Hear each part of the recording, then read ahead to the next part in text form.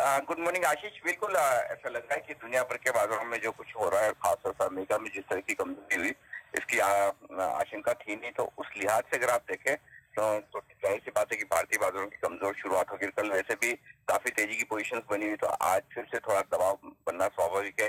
अहम लेवल है दस हज़ार का उसे पार करने के लिए जिस तरह के ट्रिगर चाहिए वो दिख नहीं रहे।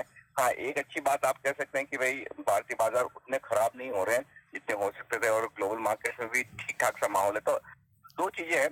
एक तो ओपनिंग बेसिस पर तो एक बार आपको बाज़ार में कमज़ोरी दिखेगी दिखेगी।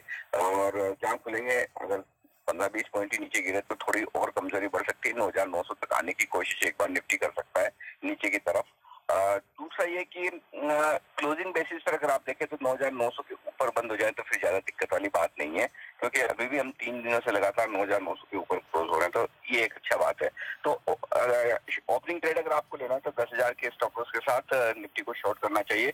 नीचे की तरफ़ नौ हज़ार नौ सौ, नौ हज़ार आठ सौ पचहत्तर तक के टारगेट उसके अलावा बैंक निफ्टी में भी वही सिचुएशन है, चौबीस हज़ार पाँच सौ के ऊपर जाने में मुश्किल होती दिख रही तो चौबीस हज़ार पाँच सौ को, चौबीस हज़ार चार सौ पचास को स्टॉप लॉस मानकर एक बार शॉर्ट पोजीशन बनाई जा सकती है।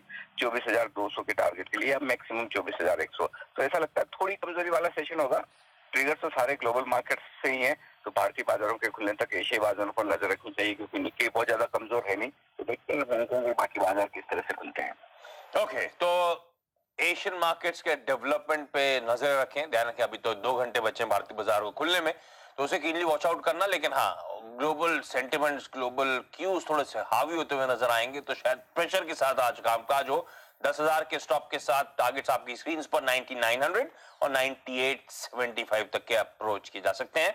बैंक निफ्टी में भी कमज़ोरी नज़र आएगी बेचने के मौके ढूँढने। लेकिन चलिए बाजारों पे एक और एक्सपर्ट अब सिमी भौमिक डॉट कॉम की सिमी भौमिक मेरे साथ जुड़ती हुई। सिमी हाई गुड मॉर्निंग आपकी चार्ट रीडिंग क्या कहती है मैम क्या मूड बन रहा है? क्लाइंट्स को क्या सजेस्ट कर रही हैं? Good morning Ashish. मैं सिर्फ़ ये कहूँगी कि मैं अभी भी बाय ऑन डिप स्ट्रेटेजी रखने के लिए कहूँगी।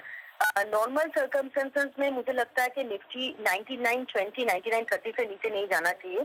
तो मैंने जो स्ट्रेटेजी रखा था, उसका स्टॉप लॉस मैंने 9920 का रखा था और टारगेट 9980 से 10000 का रखा था। मुझे लगता है कि इस दौर में निफ्टी को एक बार 10000 का लेवल छूना है। क्योंकि 9900 के ऊपर दो तीन ट्रेडिंग सेशन का क्लोजिंग हो गया। कल 9950 के आसपास क्लोज किया था निफ्टी तो मैंने 10000 का एक छोटा सा टारगेट रखा था, जो कि हो सकता है आज या तो कल। और अगर मार्केट ग्लोबल क्यूज के लिए बहुत ज़्यादा वीकनेस के साथ ओपन होता है या ड्यूरिंग द डे अगर वीकनेस दिखता है तो मुझे लगता है कि वेट करना पड़ेगा। हो सकता है कि 9900 के आसपास भी निफ्टी आ जाए इंटरडे में, पर वो डीप बाइंग के लिए यूज़ किया जाएगा। जब तक निफ्टी 9900 का लेवल ब्रीच नहीं करता है, तब तक कोई भी करेक्शन में खरीदारी करने का ही सलाह होगा। व्हाइट स्टॉप लॉस 9890 है। और छोटा सा स्टॉप लॉस 9920 है। अकॉर्डिंगली समझना पड़ेगा स्टॉप लॉस को पर टारगेट मेरा 10000 का ही है 9980 से 10000 का। तो इस मोमेंटम